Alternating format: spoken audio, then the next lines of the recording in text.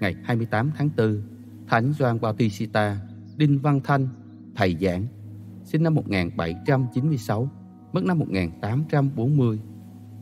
quan lớn thương thì tôi sống, bằng quan lớn muốn bắt tôi bỏ đạo thì tôi bằng lòng chịu chết. Còn đạo thì tôi chẳng bỏ.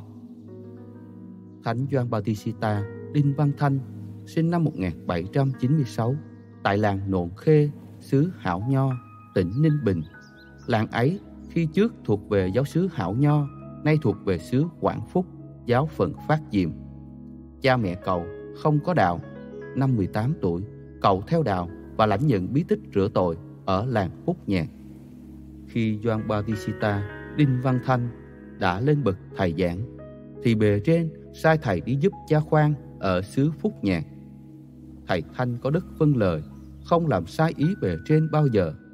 Cha khoan giao thầy giữ việc trại, đông biên. Cha khoan khen thầy, người chăm chút, siêng năng các việc, có tài riêng nữa. Ngày 24 tháng 8 năm 1837, thầy Thanh bị bắt tại Đông Biên cùng lúc với cha Khoan và thầy Hiếu. Cả ba vị bị giải lên tỉnh Ninh Bình. Thầy Thanh hằng giữ lòng khiêm nhường. Khi các quan tra hỏi thì thầy vẫn để cha Khoan thưa trước, rồi thầy thưa y như cha đã nói. Lần đầu tiên quan tra thì thầy chỉ thưa rằng tôi là đầy tớ đạo trưởng đây. Người đã định làm sao tôi cũng định làm như vậy. Bẩm quan lớn, quan lớn thương thì tôi sống, bằng quan muốn bắt tôi bỏ đạo thì tôi bằng lòng chịu chết, còn đạo thì tôi chẳng bỏ. Bấy giờ quan truyền đánh đòn, thì thầy chịu bằng lòng, chẳng mở miệng mà kêu một lời nào. Quan truyền đóng gông, đóng cùng mà giam thầy vào tù và lập án trảm.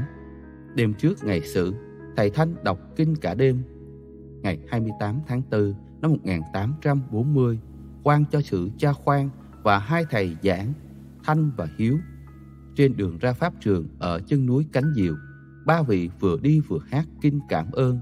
Đến nơi xử, thầy Thanh đã lãnh án xử trạm Đêm sau, giáo hữu đem xác thầy Thanh về Yên Mối và sau đem về Phúc Nhạc. Thầy Doan Bautista Đinh Văn Thanh được nâng lên bậc chân phước ngày 27 tháng 5 năm 1900 và được tôn phong hiển thánh vào ngày 19 tháng 6 năm 1988.